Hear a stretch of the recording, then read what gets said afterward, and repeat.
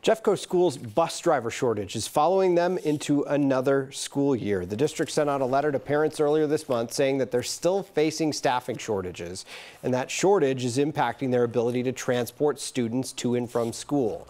Greg Jackson, the executive director of transportation, says they normally have 370 drivers. This year, they're starting with roughly 229 drivers.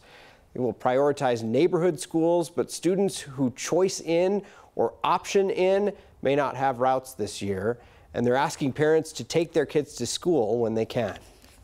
Please be patient with us. And we, you know, we appreciate the support you've given us, but you have to be patient with us. We don't have resources.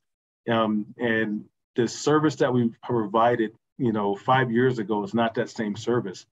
The district is working with a recruiting company to hire more workers. They say finding drivers has become more competitive with companies like Amazon and Uber. The district says if you're looking for a job, head their way.